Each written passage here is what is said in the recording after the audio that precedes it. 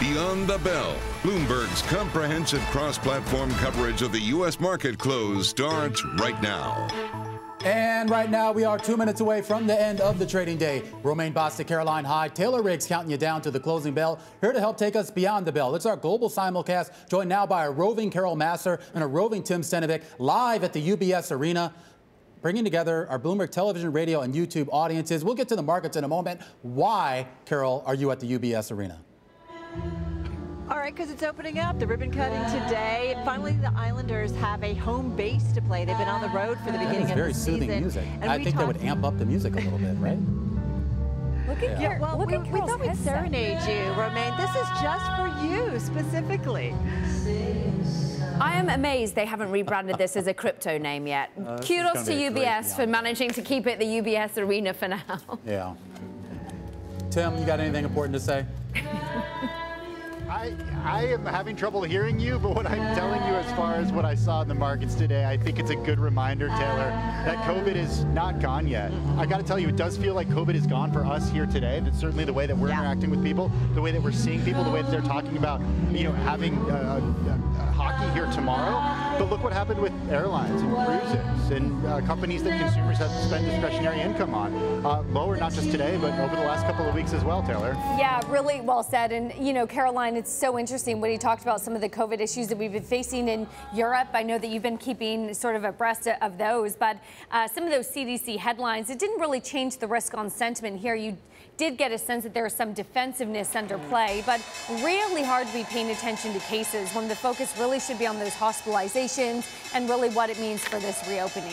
Yeah, we should point out airlines as a group down for a fourth straight day here. Let's get you caught up here uh, on the closing bells here uh, in New York. The Dow Jones Industrial Average is in the red here, down about 269 points or about seven tenths of a percent or so uh, here on the day. That's going to be down about 1% or so on a weekly basis. The S&P 500 going to finish the day in the red red. It did poke into the green a little bit earlier, but now down about a tenth of a percent here. Uh, it's going to be up on a weekly basis by about three tenths of a percent. There's the NASDAQ. We've been talking a lot about it today. That's your outperformer on the day, up about four tenths of a percent. Now in oversold conditions here. And a lot of people are going to look at that and overlay that with the Russell 2000, which is now uh, heading into, I should say, NASDAQ is in overbought conditions. Russell heading into oversold conditions. And it's down on the day here and on the week. Uh, interesting moves. And I think it kind of tells you where investors' mindsets are at. Yeah, lowest since October 29th for the Russell 2000. This really is a focus on sentiment, a focus on the fact that maybe this reopening trade isn't going to take off in the way many people had hoped. People starting to get a little bit cautious. They eye numbers coming from Europe when it comes to COVID and wanting the protection of big tech.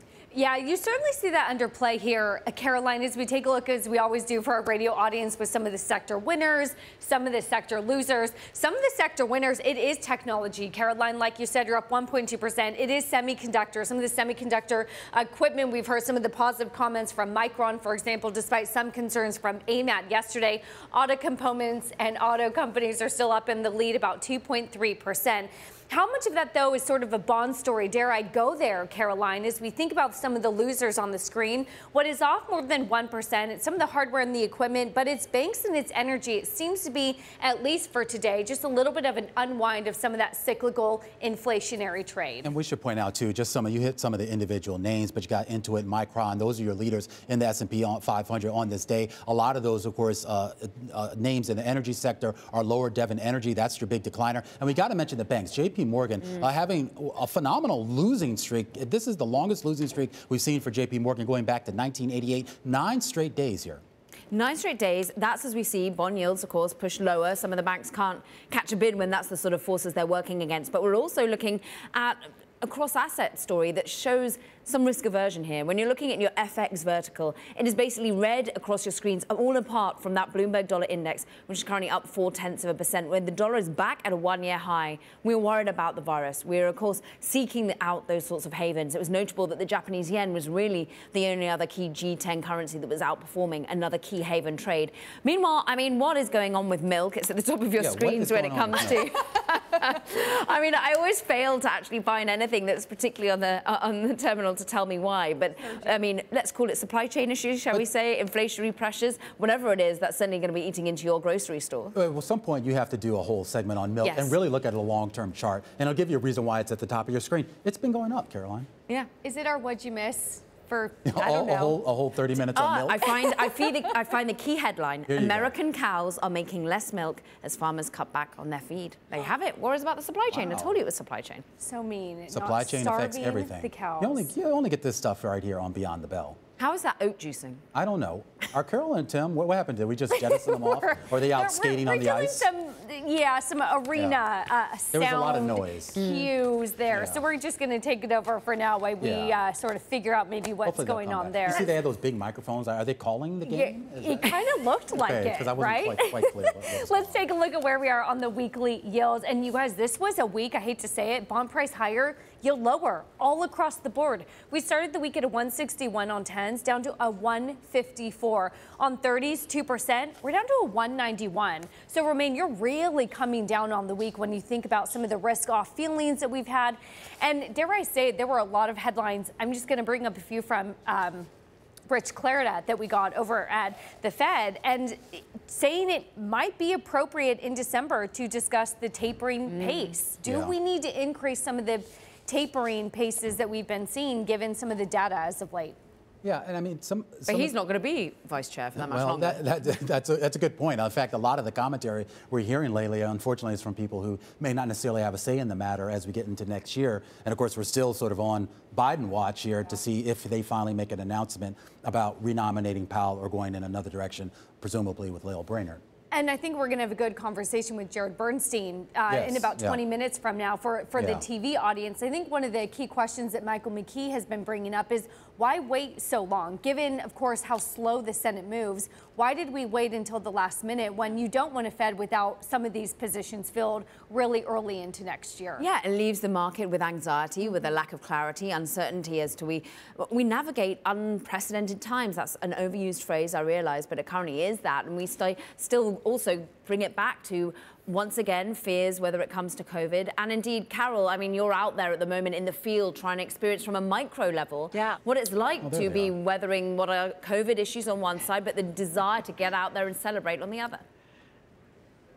Yeah, and this is what this place is all about. They have uh, structured it so it's about experiences, people being in large open facilities where they can gather. They're getting ready for Harry Styles to do a concert here. I mean, people are coming back. What's interesting, we talked with uh, Tim, come on, Tim Leiweke, who was uh, crucial in developing this and helping fund it, privately funding this, you know, mentioned that, man, if they had waited a little bit, they had some supply chain troubles as they were putting it together, but if they'd waited a little bit, the cost of it probably would have gotten up because of inflation specifically. so I- I am all of these are playing out in, in real life. I- I'm curious. So, I mean, this is Yeah. basically for those who don't know. This is basically going to be the home uh, of the New York Islanders uh, hockey team, which they used to be based out there in Long Island, and then they moved to Brooklyn for some period of time, and then everybody on Long Island complained about going to Brooklyn to watch a hockey game. So now they're back in Long Island. Is that is that right? That's right. They actually haven't had a home, a real home, uh, since the Coliseum. So they've kind of been uh, uh, without a permanent home for just a few years. So the fans certainly have been patient. Uh, and look, we spoke to the co-owner of the team earlier today. He said that he actually went around for the past few years speaking I- to hundreds of fans at games in Harry order Styles to warming understand the what they actually back. wanted in a new arena. Hey, we're getting ready for a concert here, I guess. it's Friday, everybody. They're Can you rocking feel it? out. They are Is rocking Harry. Styles there. performing tonight? No, Not tonight. Not tonight. Who- Soon. No, it's all about sports, and then it's all about Harry Styles. I have so many questions, and they never so let me many ask questions. questions. Who's performing tonight? Because it's not the Islanders, right? Because they You wouldn't, know be, more they than wouldn't me. be warming up on base. We need Scarlett Fu. She's the ice hockey There's so expert many around here. questions. So They're many talking, and I don't hear their mics. Meanwhile, I mean, I think we need to call it quits on this Friday. It's been a lot of fun having Carol Oh, and Tim uh, out there at the UBS That was our arena. final play, everyone. Yeah. and- oh, yeah. Enjoy that. Enjoy the game. Enjoy the warm-up acts. Enjoy the music, Carol and Tim. We're going to miss them. Meanwhile, of course, we're going to do it all once again on Monday with our Beyond the Bell segment.